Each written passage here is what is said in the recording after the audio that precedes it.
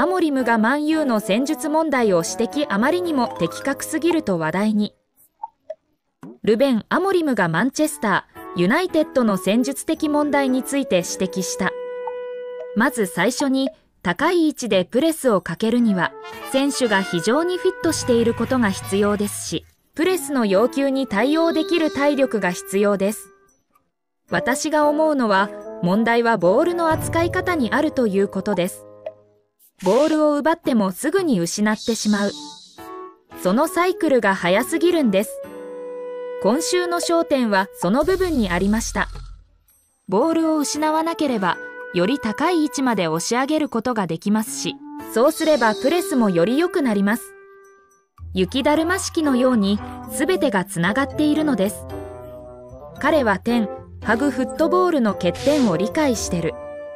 この視点が気に入りました。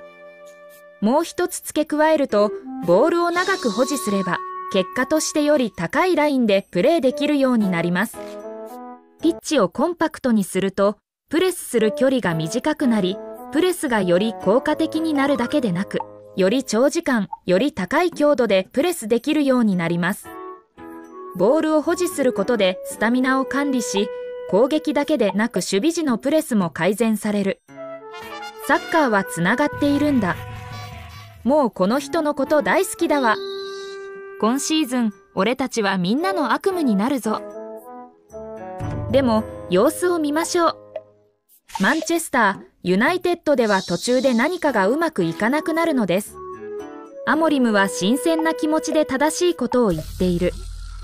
あとは彼のやり方がピッチ上で実践されるのを見る必要があるだけだ。おそらく、これまでのアモリムの名言の中で一番好きです。ボールの保持と非保持はつながっています。